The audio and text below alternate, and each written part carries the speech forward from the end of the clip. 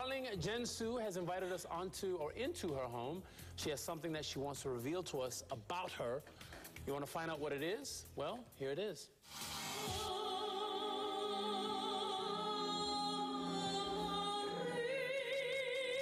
Welcome to my home. These are my hats. Well, I started collecting hats for about 10 years. About 10 years ago, um, when I was a singer in Taiwan, I won something like a Taiwan Idols, and I released four albums. And so when I took photos, I used to not like my forehead, and every time I would put a hat on, it would just sort of complete the outfit. And you know, one hat led to another, and now, uh, well, I've got kind of a lot of hats.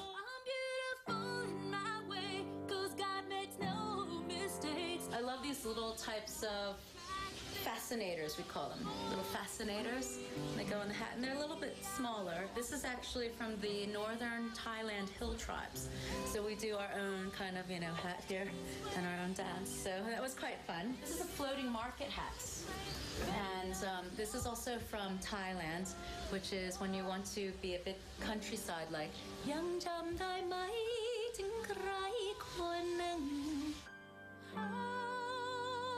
this one is from Tibet. This is a very special hat that was given to me by a fan in Asia.